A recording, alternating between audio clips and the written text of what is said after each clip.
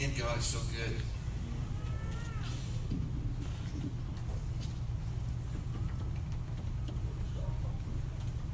Just breathing that fresh Kentucky air. I never thought that Kentucky air was fresh until we lived for a couple of weeks under volcanic fog.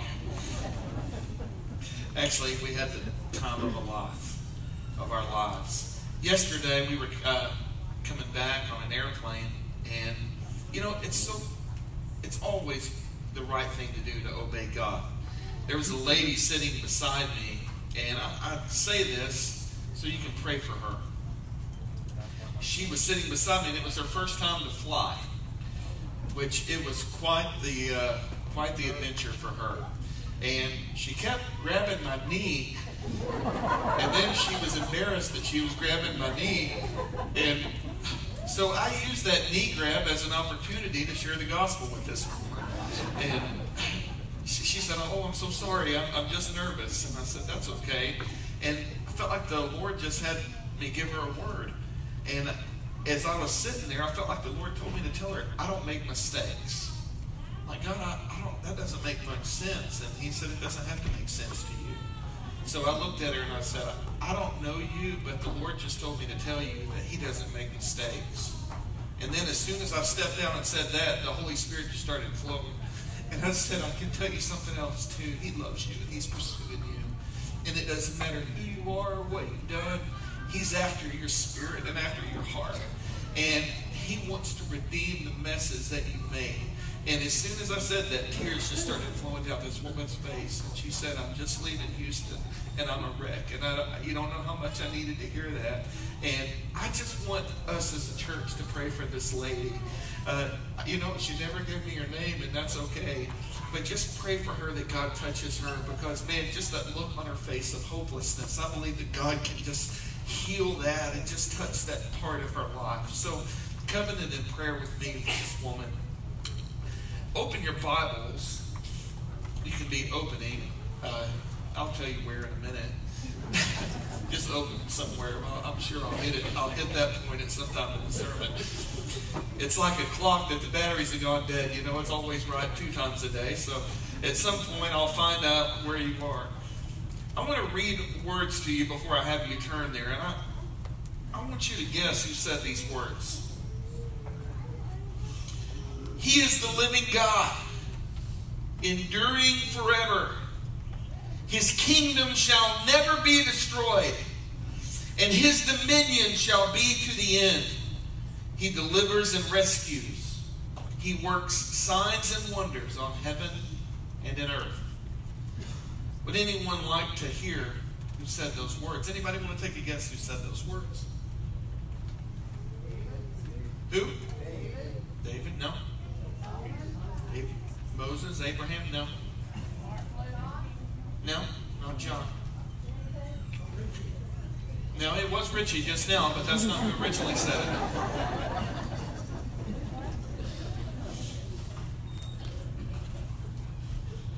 King Darius, secular king of the Persians. I want to read those words again. This is a godless this is not the nation of Israel. This is King Darius in the book of Daniel, chapter 6. I'm going to back up a couple verses. In verse 25 of chapter 6 of Daniel, it says, Then King Darius wrote to all the peoples, nations, and languages that dwell in the earth Peace be multiplied unto you. I make a decree that all in my royal dominion people are to tremble and to fear before the God of Daniel. For he is the living God, enduring forever. His kingdom shall never be destroyed, and his dominion there shall be no end. He delivers and rescues, he works signs and wonders in heaven and in earth. He who has saved Daniel from the power of the lions. Wow that brings that into a whole lot deeper meaning there for those to come from secular lips. Doesn't it? For a secular king, not a God follower before, for someone that is from a secular nation, not the nation of Israel, to utter those words, what do you call that?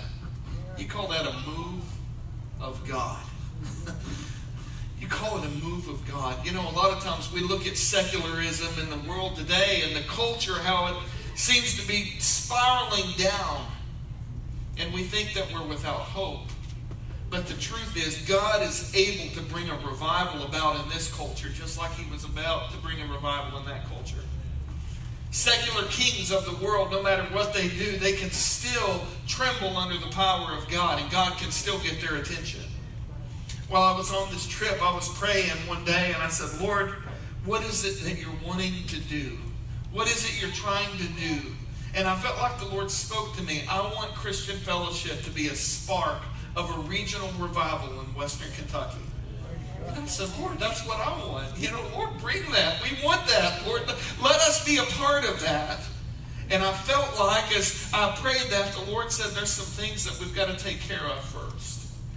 And the Lord brought me to Daniel. How do you get to that place where a secular king and people that are even leaders of secularism bow their knee and make a decree like that? Hmm. Well, we have to travel back before we get there. So now turn your Bibles to Daniel chapter 1, and I want to look at the beginning of this story. Praise the Lord. I can feel the presence of the Lord here today. This story begins in chapter 1, verse 1 of Daniel. In the third year of the reign of Jehoiakim, king of Judah, Nebuchadnezzar, king of Babylon, came to Jerusalem and besieged it. And the Lord gave Jehoiakim, king of Judah, into his hand, and some of the vessels of the house of God. Now that's interesting. That the story that began the secular king bowing his knee to the Lord began with Israel being besieged and taken into captivity. So Nebuchadnezzar comes and he takes, besieges Judah, and he takes some of the royal vessels into captivity, and he brought them to the land of Shinar, the house of his God, and he placed the vessels in the treasury of his God. Not the God, but his God.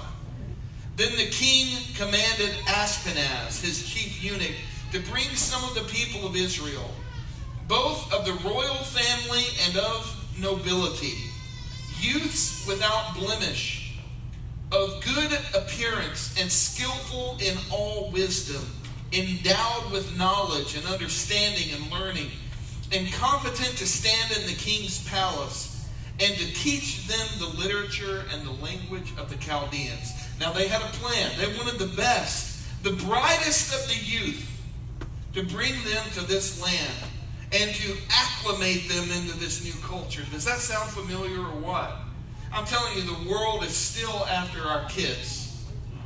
They're still after a generation. They're still enticing them with the things of the world. But I can tell you here at 40 years old, this world has nothing for us. Nothing. There's nothing that this world has for us that's appealing, that's appetizing, that will do us any good. But they decided we want the best and we want to, the word I'm going to use is expose them to the land of the Chaldeans. We want them to see how we do things. We want them to be exposed to our way of doing things. See, there's some forms of parenting that says, you know what, we need to expose our kids. Let me tell you, I want to insulate my child as long as I possibly can from the things of this world. Well, you're not doing him any good. Yes, I am. I don't want him to have to experience those things. I don't want him to be indoctrinated into the world's way of doing things. I don't want him to say, well, that's just normal. Normal is doing it God's way. Normal is exposing him and giving him a hunger for the things of God, not exposing him, well, this is how the world says you're supposed to do it. But that's what they were doing. They were bringing the best. They wanted the best. Because if they could get the best, then it was easy to get everyone else. So they brought them to the land and they exposed them to this new culture. Let's continue. The king assigned them a daily portion of food that the king ate. So it wasn't just like McDonald's. It was like the best of the food. It wasn't Jack in the Box. It's like a steak from Cynthia's. it's like the good stuff that the king was eating himself. He, they gave them a portion of that that the king ate and the wine that he drank. And they were to be educated for three years. And at the end of that time, they would stand before the king.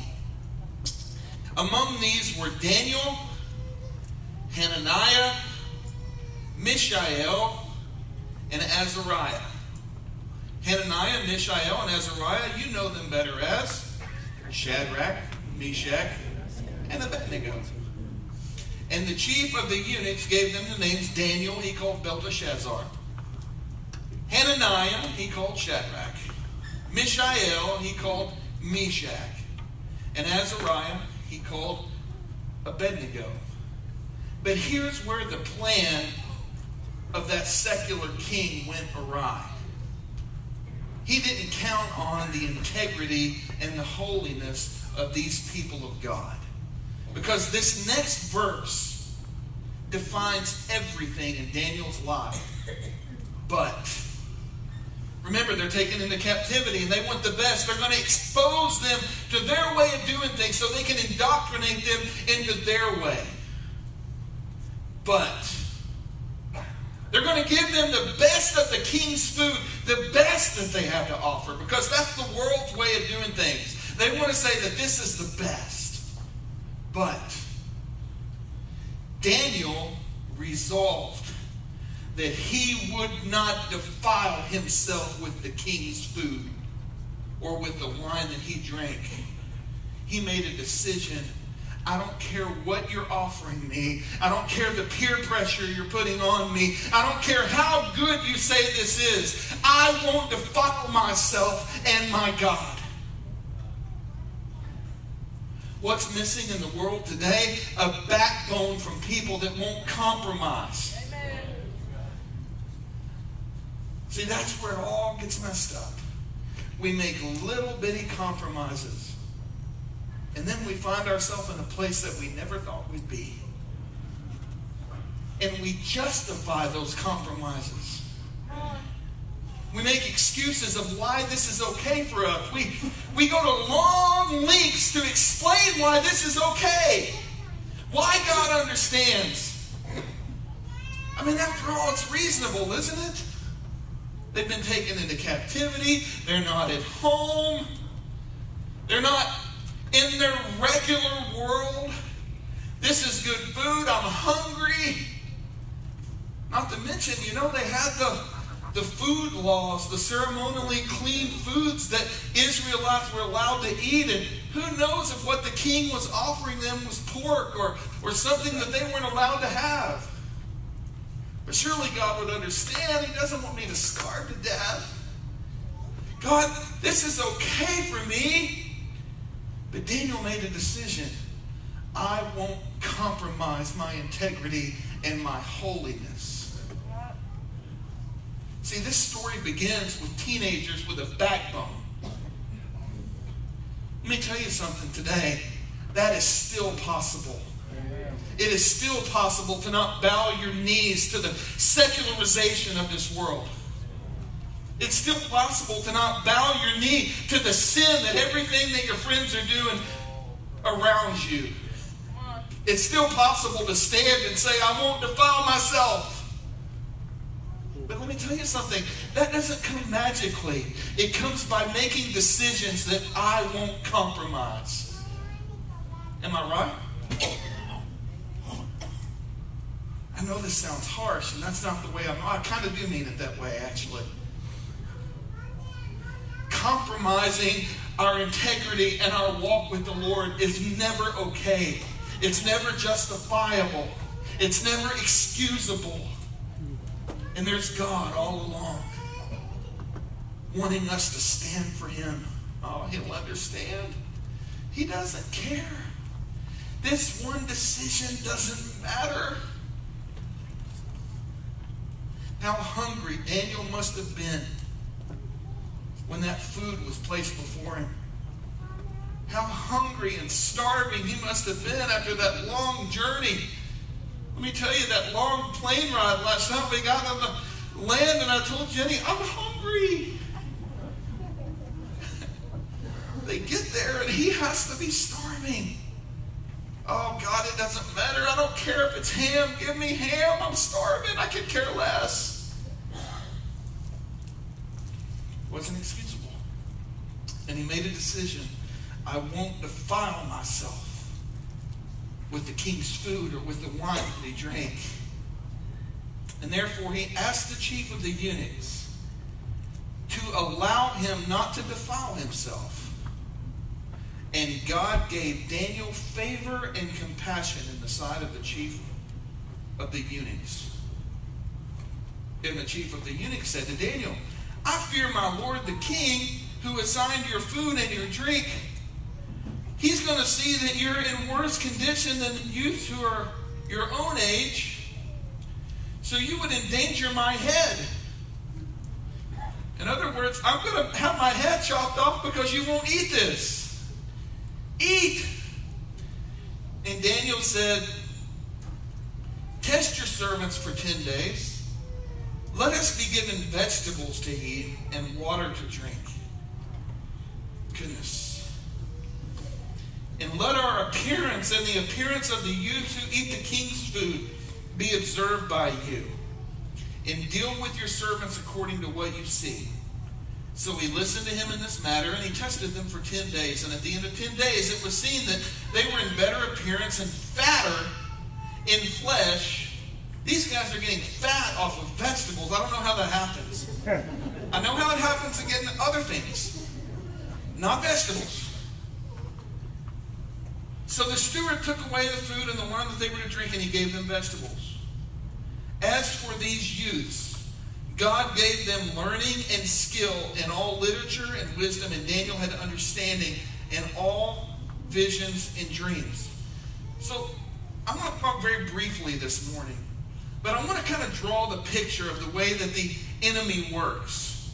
And it starts with that first step that we're talking about exposure. Say exposure. How do we live a life that moves us towards revival?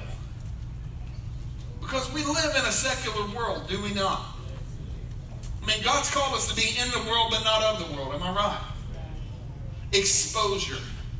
Let me tell you what exposure leads to most of the time. It's that second step we're talking about. Exposure leads to compromise. Say compromise.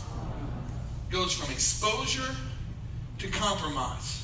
See, if you're exposed to something, it's easy to compromise. How many people have been on a diet at some time in your life?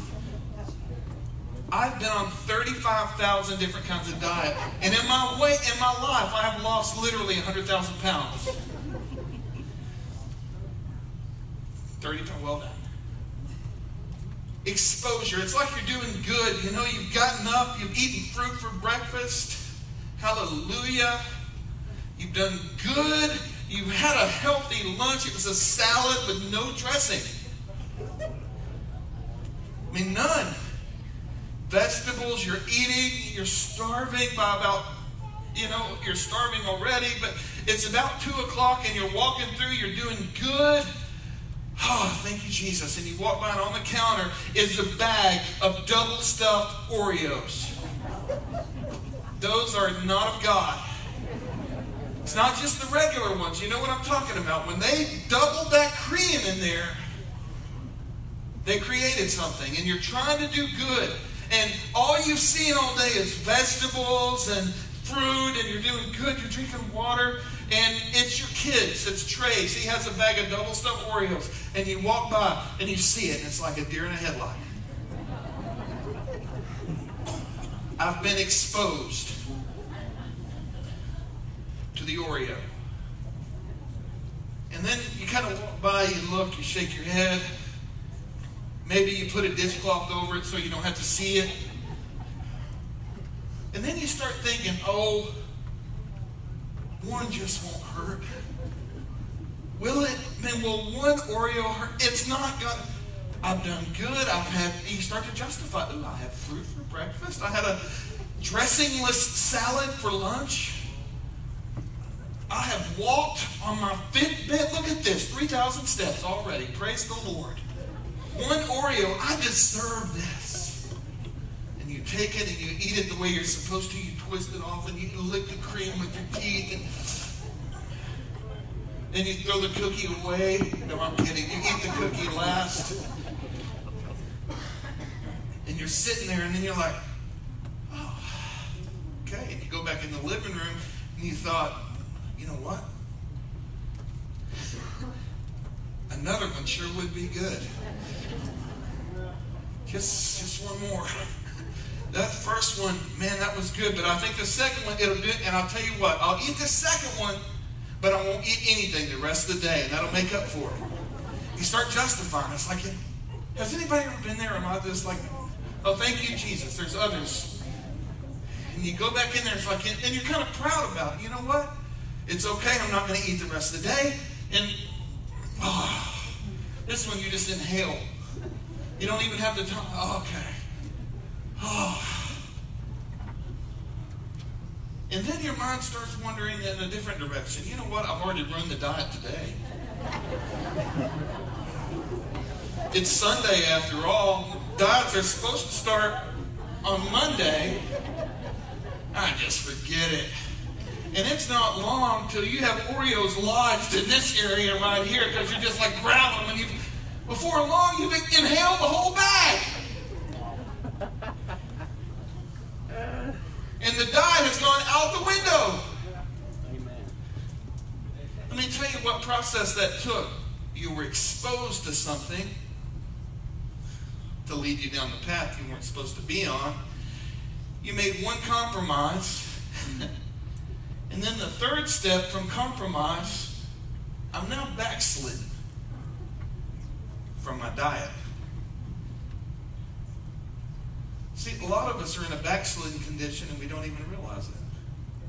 We were exposed, we compromised, and then compromise became such a way of life that we're no longer identified by what we were in the beginning and we're in a backslidden condition. and we're actually walking a different direction. And now our goal is not to walk this way, we're just kind of living and existing. How does that happen? Small compromises. See, that decision Daniel made there was I won't be defiled. I won't make one compromise because my integrity and my walk with the Lord is that important that one simple compromise, no matter the excuse, no matter the justification, I won't do it.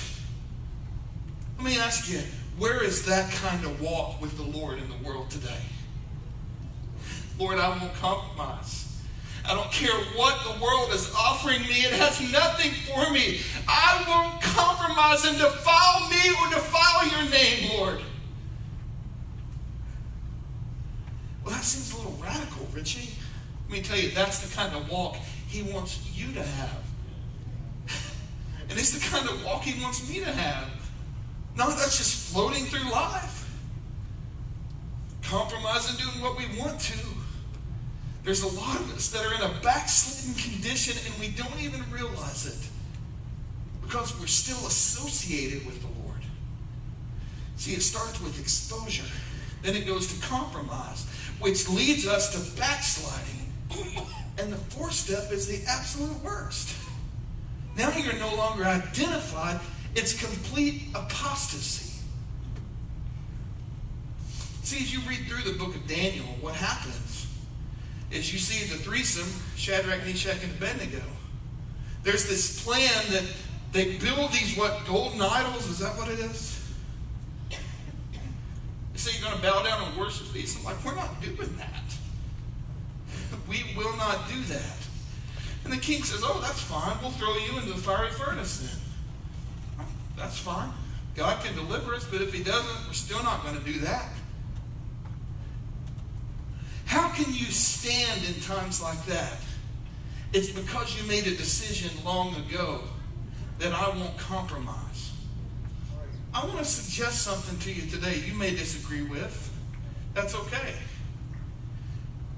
I believe if they would have compromised in the beginning, right there with the little things, if they would have just compromised, I don't think they would have stood when the big test came.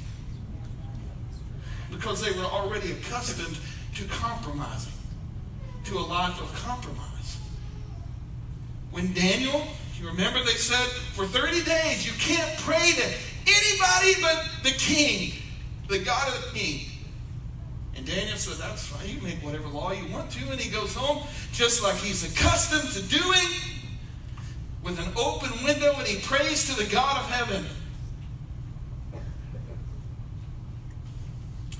I think that if he would have made a decision in the beginning and would have compromised himself with the king's food, I think when it came time to that, he would have compromised that decision as well. See, because compromise leads to compromise, leads to compromise, which leads to backsliding, which leads to complete apostasy away from the Lord. It starts with compromise. It actually starts with being exposed. That's why I believe the longer we can keep our kids from being exposed to the things of this world, the better off we are. That's just our form of parenting. You parent your child how you wish. Say compromise. Compromise comes from exposure. Compromise leads to backsliding, which leads to apostasy. And we know Daniel gets thrown in the lion's den, does he not? And we know the great story that happened afterwards. Man, the next day the king looks down there and Daniel's like, hey, how's it going? That's an interesting night that he had. Verse 19 of chapter 6. I know I'm jumping all over Daniel here. The king arose and went in haste to the den of the lions. And he came near to the den where Daniel was. And he cried out in a tone of anguish. The king declared to Daniel, O Daniel, servant of the living God, has your God, whom you serve continually, been able to deliver you from the mouth of the lions? And Daniel said to the king, O king, live forever. My God sent his angel and shut the lion's mouth, and they have not harmed me. Look at the next verse, or the next phrase, I guess, in the same verse. They've not harmed me. Why have they not harmed me? Because I was found blameless before him. Because I was found blameless before him. I know it's not by our works. I know our righteousness, like Ronnie said, I agree with that, is filthy rags. I believe that. But there's something to be said for a blameless walk in front of the Lord. A life of holiness. A life of no compromise. Daniel makes a bold declaration. I trusted God, but he's delivered me because I was found blameless in front of my God. How many of us can say that today? Those are strong words, guys. I mean, think about the just the levity. Not not levity. The heaviness. Man, just think about the weight, the gravity. I was found blameless before God. So he delivered me. He was resting on something. I'm not going to defile myself with the king's portion. I don't care what the world is offering me. This could be the best that you're offering me. I won't defile myself with it. I'm not going to compromise. I'm going to live for the Lord. I'm going to stand. I'm going to stand. I'm going to follow him with all that I am. And come what may, I want to trust the Lord. And look what he did. He delivered me because I was found blameless. And that's when the king says, Oh God, He is the living God, enduring forever.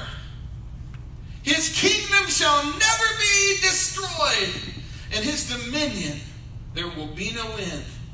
He delivers and rescues, he works signs and wonders in the heaven and the earth. He who has saved Daniel from the power of the lions.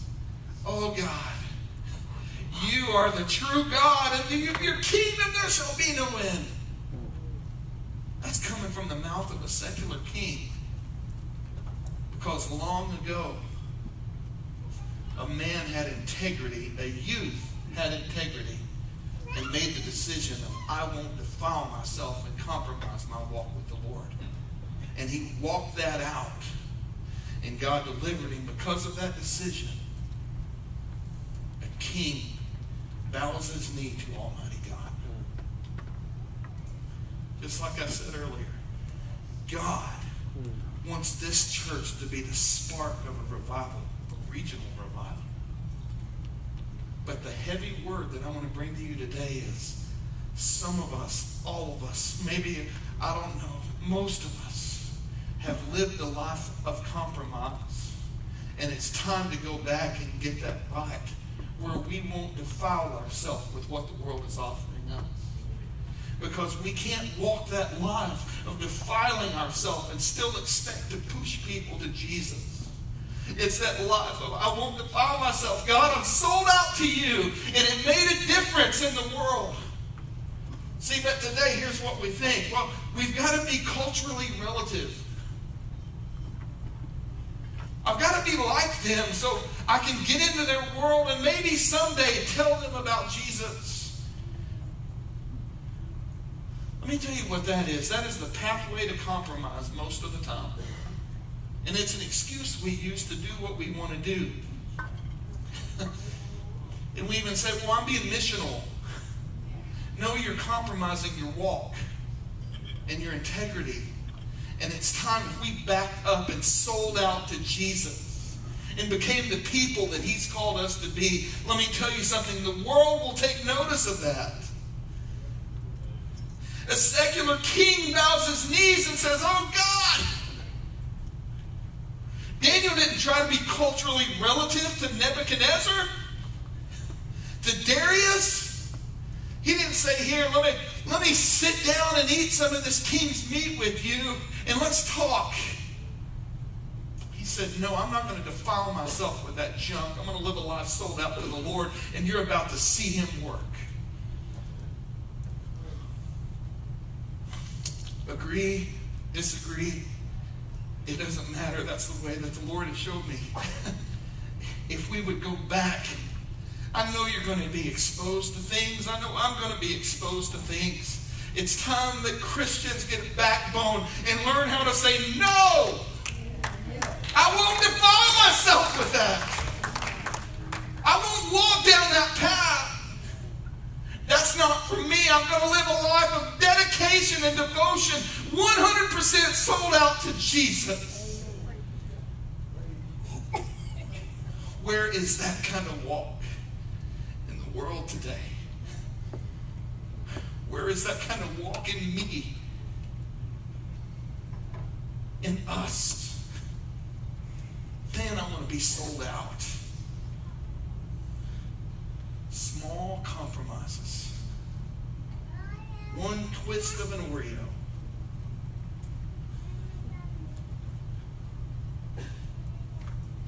And then you can't fit in your Sunday morning britches the next thing you know.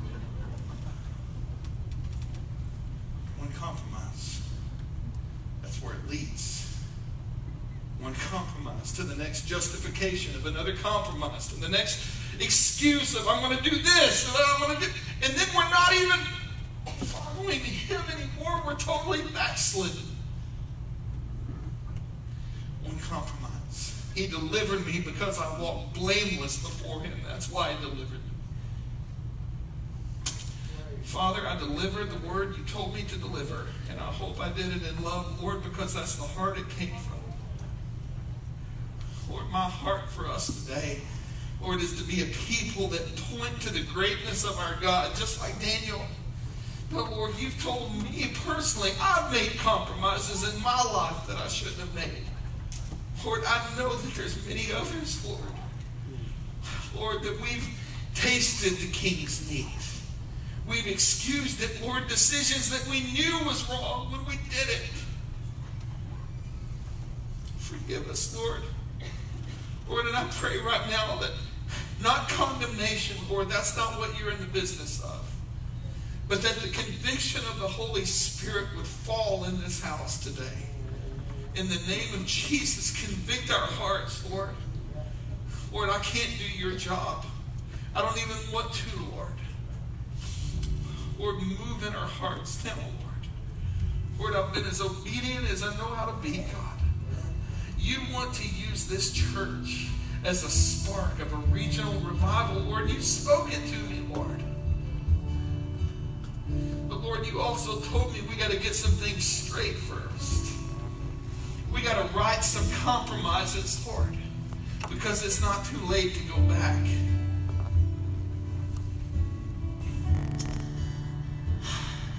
With every head bowed and every eye closed, I'm going to ask a difficult question.